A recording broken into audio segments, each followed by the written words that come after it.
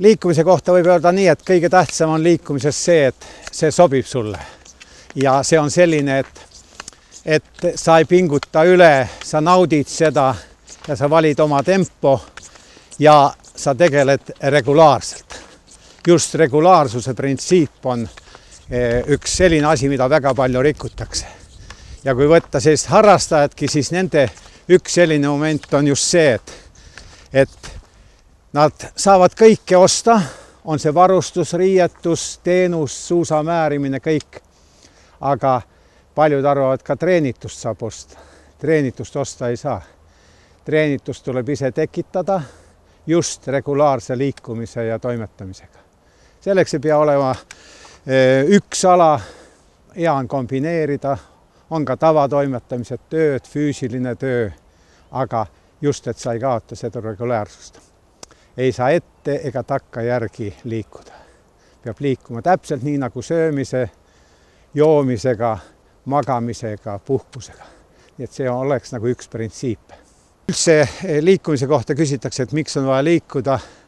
vaadake, liikumine on, tekitab ärrituse organismile, meil organism kogu aeg toimib ja liikumisega on see, et me tekitame täiendava ärrituse, koormame, aga ka taastume nii et liikumine pluss eh, on tal eh, veel väga palju selliseid tegureid, nagu nimetaks ka meeleolutegevus.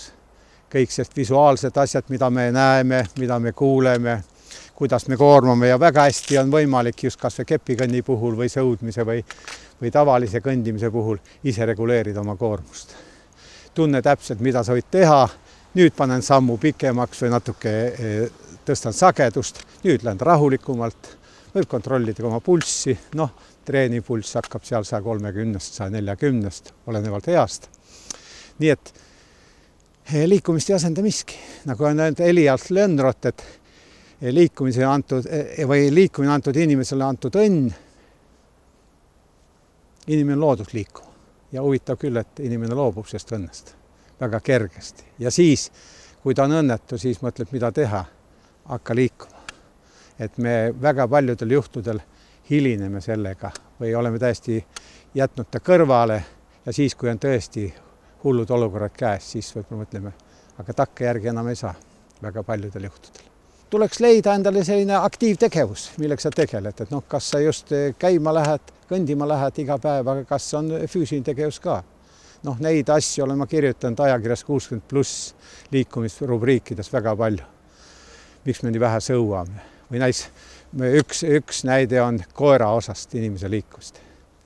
inimene, kes on võtnud koera, mõtleb, et nüüd on väga eh, selline olukord, et öö, eh, olen koeraga, koer tahab liikuda. koer veab inimese välja ükstaspuha mis ilmaga, ükstaspuha mis oludes, kindlal kellaajal ja nii edasi, edasi. nii et eh, selline tegureid on palju. ja, ja see, kes on juba nagu öelda noh, lõunaasja öelda nagu hamba verele saanud. see, olge jälle ettevaatlik, et üle ei pinguta. praegu paljude harrastajatega juhtub seda, et me hakkame üle pingutama ja ma soovitan üht väga head raamatut, mis on antud Tallinna Ülikoolist välja, tõlge prantsuse, eh, ma kirjaniku praegu täpselt ei mäleta, kõndimise filosoofia. ja ma eile uurisin Apollos, see on läbi müüdud, see raamat küsitakse, kas teil kõndimise filosoofia, seal on väga hästi räägitud kõndimisest ja väga häid näiteid tuntud maailma inimestest, näiteks Emmanuel Kant oli üks suur kõndija. ja, ja teisigi, Nietzsche ja Rousseau ja, ja niisugused head näited, kus need head mõtted tulid, mentaalsed asjad ja nii edasi, nii edasi, pluss sõbrad, pluss kaaslased, pere lapsed.